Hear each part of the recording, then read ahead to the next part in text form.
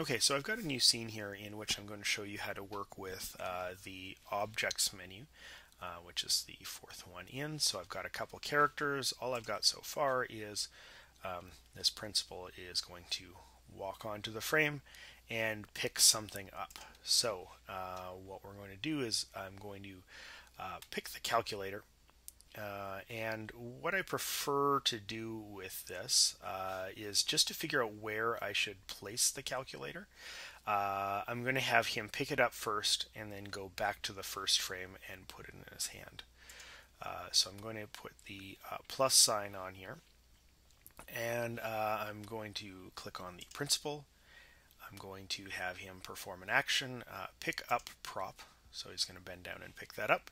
And the prop that I'm going to put in his hand is the calculator. So I'm going to grab the calculator and put it on him. And uh, there's an important thing that shows up here. It says, we found that the same character exists on other scenes. Do you want to add the prop on all of them? Now I'm going to uh, make the mistake here and say yes, add to all. But what we actually want to do is know this one only. But I'm doing this so that I can show you how to remove the prop. So what happens is I would only want him to have the calculator in this scene, not the previous one, but when I hit add to all, you'll see that he has it here, but he also has it uh, when I preview, he actually walks up with it, which is not what I want, and then picks it up for some reason.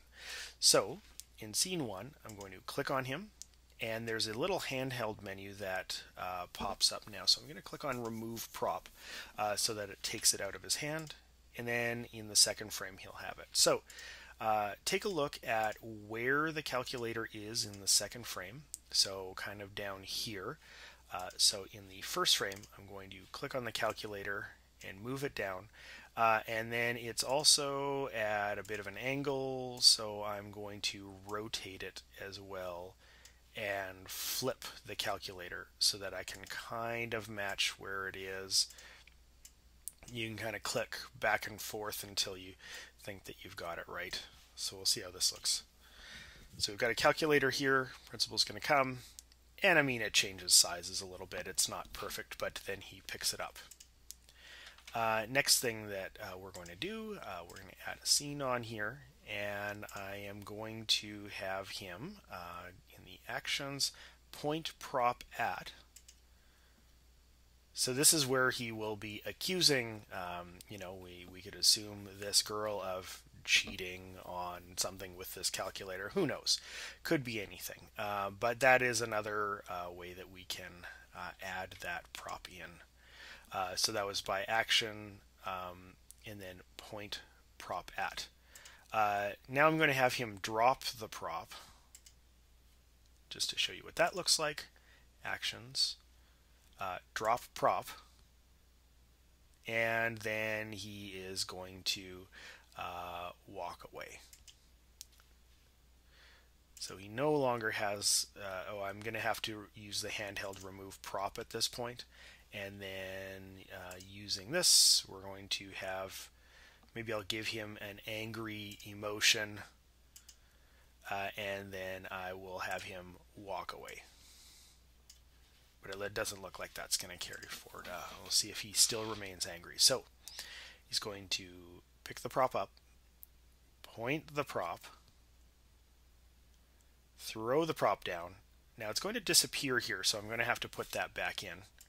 Uh, so again, like we did before, I'll have to try and uh, go back and forth and figure out, okay, now where was that calculator? Uh, so I'm going to leave it here. Uh, and then I had to flip the calculator and it was a little bit smaller so I'll try and match the size. And um, I think I moved that a little too far. Okay so there we go.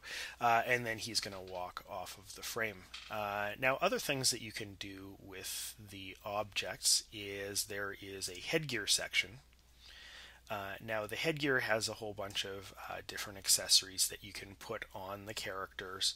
Uh, so we'll try a few. Uh, first thing I'm going to do is I'm going to uh, add some headphones on and I'm going to put them on the girl here. Um, there we go.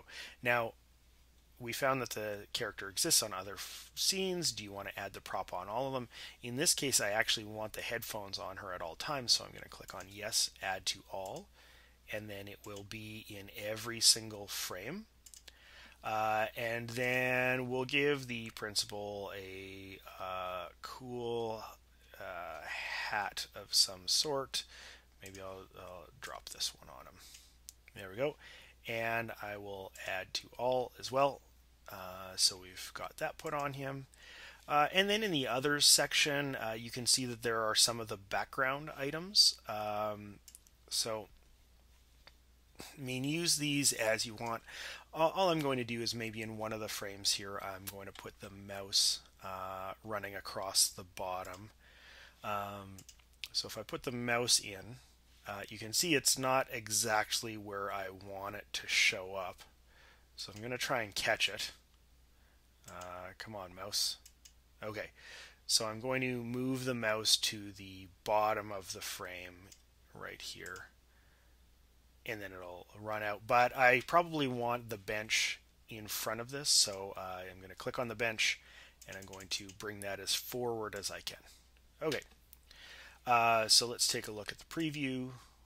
Um, okay, we get the principal walking up, calculator, and then drops it again.